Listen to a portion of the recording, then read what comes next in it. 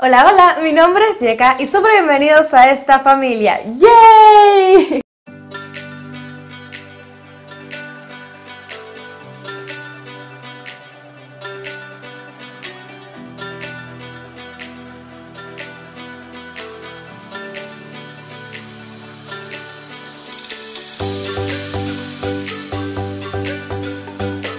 Hola mis amores, espero que se encuentren muy bien en el día de hoy y en este video vamos a estar hablando sobre qué me pongo debajo de la ropa.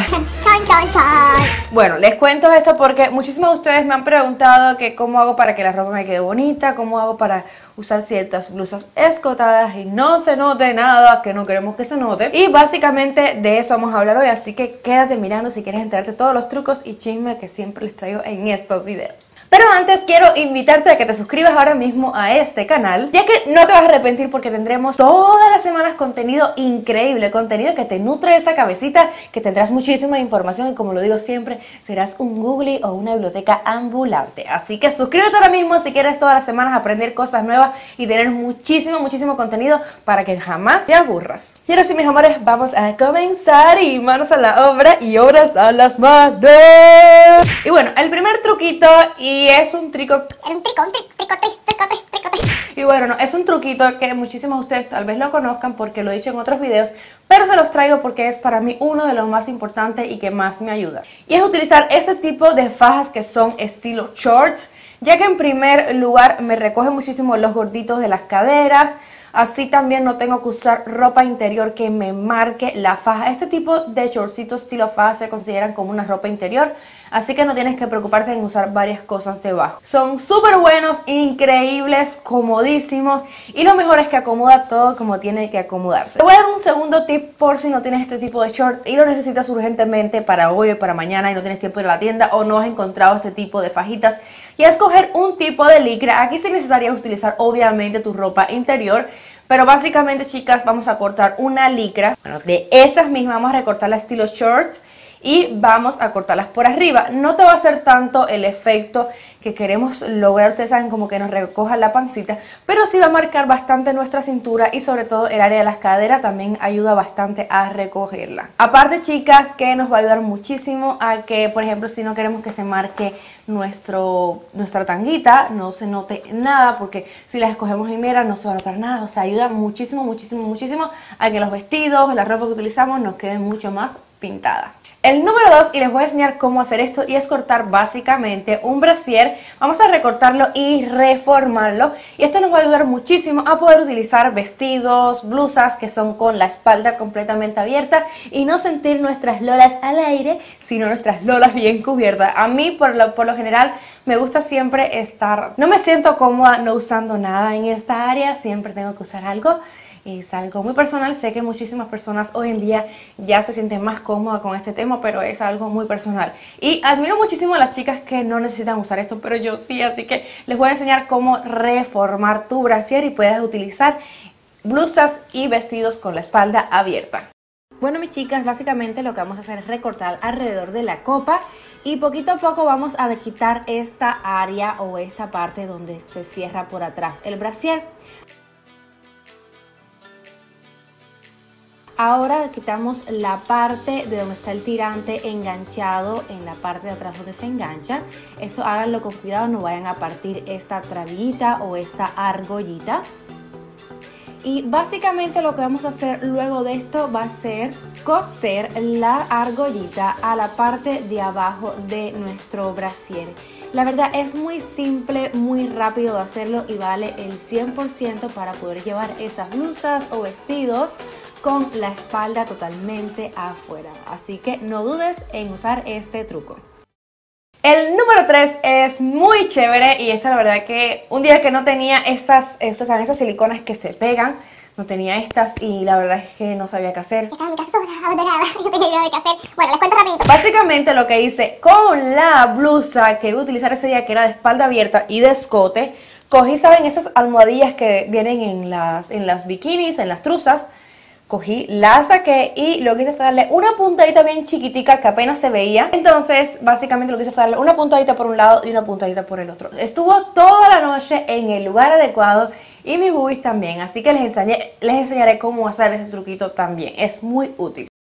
Bueno, si estás cansada de este tipo de blusas o te encantan pero no te las pones, no te decides porque sientes que te sientes incómoda como yo, básicamente lo único que necesitaremos sería este tipo de pads que los encontramos en, la, en los bikinis o en las, ya saben, en todo lo que serían truzas y estas cosas. Y vamos a coserlo con un hilo que obviamente sea del mismo color de nuestra blusa. Traten de evitar colores que resalten. Esto hará que se note muchísimo y no lo queremos. Ahora igualemos los dos lados, no queremos que una boobie se note más alta que la otra.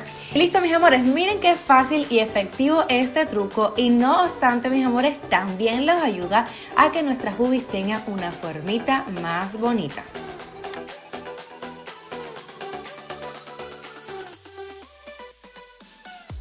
O también lo que puedes hacer chicas si no quieres dejar la puntadita porque tu blusa es de una tela muy finita lo que puedes hacer es utilizar estos scope tape que son dobles, saben como que tienen pegamento por un lado y por el otro y lo vas a poner alrededor de, o sea, como ponerlo en el medio entre la blusa y la esponjita. Y chicas, lo, aseguramos bien, podemos llevar un poquito de este material o este scope tape en nuestra cartera en caso de emergencia. Yo otro día porque estaba utilizando una blusa que era muy delgadita, muy finita, no quería coserla, así que lo que hice chicas básicamente fue pegarle esto y honestamente sí tuve que cambiarlo a mitad de la noche, pero era porque andaba en el bailoteo. Bailoteo.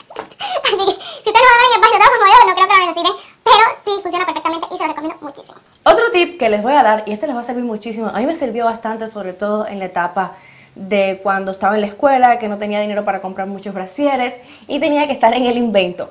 Bueno, yo tenía brasieres esos que se les quitan los tirantes, siempre he tenido de esos. Y tenía blusas, ustedes saben, de las que se cruzan por atrás, esas sí que son estilo eh, deportivas. Bueno, básicamente lo que hacía era cruzar, para no tener que comprar un, otro, para no tener que comprar otro brasier ni nada, eso lo único que hacía era cruzar las tiras de atrás, o sea, básicamente ponerlas en cruceta.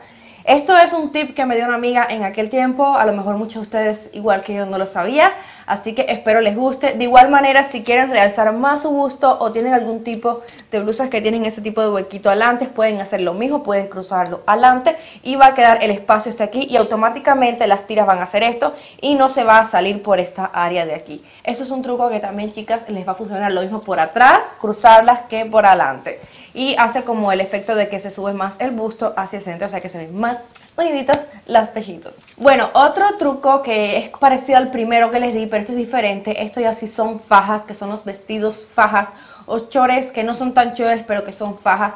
Obviamente, chicas, esto sí ayuda bastante, sobre todo si queremos usar vestidos así como súper elegantes, como vestidos así para una cena muy formal o bodas, quinceañeras, que queremos ir así súper elegante, una alfombra roja, quién sabe, y por ahí ustedes son famosas y quieren ver este video.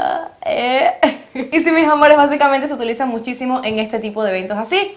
Me encantan las fajas, pero hay que tener muchísimo cuidado porque hay fajas que se notan muchísimo con la ropa. Así que asegúrate de utilizar la faja correcta para el vestido que utilices. Hay fajas que son más delgaditas, otras fajas que son más gruesas y otras fajas que son las fajas moldeadoras que son como la que le enseñé en uno de los videos anteriores que se lo dejaré en la cajita de descripción o por aquí o por aquí. Estas fajas se utilizan como para moldear el cuerpo. Para los vestidos y estas cosas no se utilizan estas fajas sino moldeadores que se utilizan con ropa. Es totalmente distinto por si tenías alguna duda al respecto.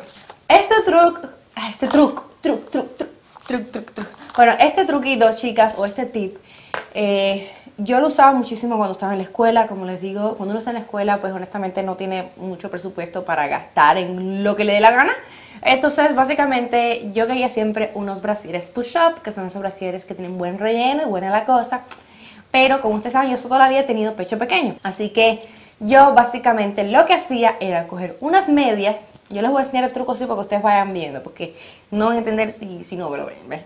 Cogí unas medias, las doblaba y lo que hacía era coserlas básicamente a la parte de abajo del brasil. O sea, básicamente como haciendo un push-up en casa. Porque chicas, honestamente, cuando estamos jóvenes y no tenemos presupuesto para gastar 50, 80, 90 dólares en un buen brasil push-up, porque todos no funcionan igual, todos no tienen como esa ese agarre. Pero este que les enseño, chicas, si ustedes chicas podemos hacer que se vea súper bonito el brasier agregándole una telita por arriba, cosiéndola un poquito y así no se va a notar. En serio, este es el mejor truco que tuve en mi adolescencia. Ya honestamente no lo hago porque después de mis hijas, ni con push-up ni sin push-up, aquello coge arriba. o sea, yo no me gasto tiempo, pero sé que muchísimos de ustedes sí lo van a lograr y van a tener un buen tip. Esto es bien simple. Vamos a tomar unas medias, cualquier media. Si son gruesitas, pues las puedes cortar a la mitad como yo estoy cortando estas. Córtalas de la igual manera para que tengas la misma cantidad de relleno en, la, en ambas áreas. Ahora vamos a doblarla de tal manera, no es que tenga que ser exactamente así, pero básicamente lo que queremos lograr es que quede más o menos un relleno de esta forma. Ahora vamos a coserla para que se quede así para siempre, para que no se esté moviendo del lugar este relleno que hicimos. Recuerda utilizar hilos que sean aproximadamente del mismo color de lo que estamos cosiendo para que así no resalte mucho. Pero esto es algo realmente no tan importante. Ahora podemos poner, ahora podemos hacer unas puntaditas pequeñas para asegurarlo a nuestro brasier. Asegúrate de que el hilo sea del mismo color de tu brasier. Vamos a tomar una telita y vamos a recortarla y luego pegarla encima del relleno para que así no se note mucho. Puedes utilizar un poquito de silicona o también coser esta telita. Y miren la diferencia, mis amores. En el lado izquierdo no tengo lo que sería el relleno y en el lado derecho sí. Así que aquí pueden notar la diferencia y honestamente, mis amores, que sí vale muchísimo la pena. Y bueno, sí, mis amores, esto fue todos los truquitos del día de hoy. Espero les hayan encantado. Espero obviamente su like, que les haya gustado. Pero denle like, chicas, si les gustó, si algún truquito de esto les sirvió. Comenten cuál fue su truco favorito y cuál no sabían. Y obviamente si tienes algún truquito, como siempre les digo, dejen en los comentarios si tienen algún truquito que no dije. Porque a mí me encanta que ustedes me compartan sus trucos porque ustedes son las mejores. Son como una, como digo, ustedes son bibliotecas ambulantes que se las saben todas. Así que déjame en tu comentario, como yo siempre digo, las amigas buenas comparten. Así que compartan todos sus trucos. Y ahora sí, mis amores, me despido de ustedes con un beso súper grande. Las espero por mis redes sociales, Instagram y Facebook. Y que tengas un hermoso día. Bye.